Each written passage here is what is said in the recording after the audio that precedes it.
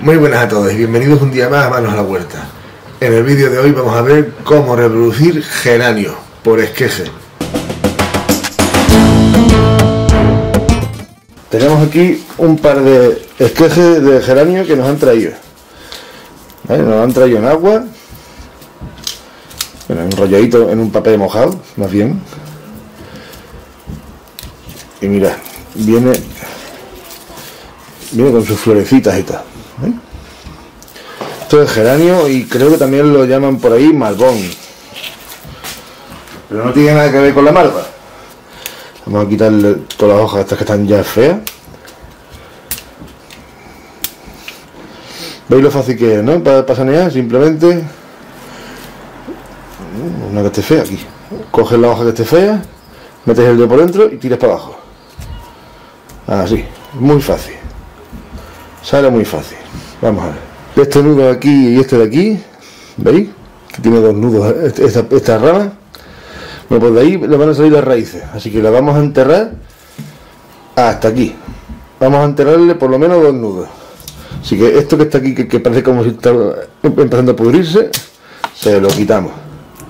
Nos curamos en salud de que, de que vaya a, a coger una enfermedad por ahí. Y nos dejamos dos nudos para que eche raíces ella. Vamos a limpiarle. Esta que es la, ramita que tiene las flores, sintiéndolo mucho, ahora mismo nos interesa más que eche raíces. Así que vamos a quitarle las flores. Vamos a ver, aquí.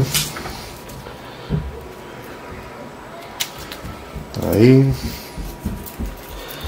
Este tallo floral también va a ir fuera. Bueno, aquí tenemos una maceta llena, una maceta de 2 litros, más o menos. Y simplemente vamos a coger con el mismo dedo, vamos a hacerle un agujerito.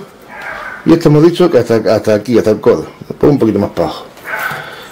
Pinchamos y metemos.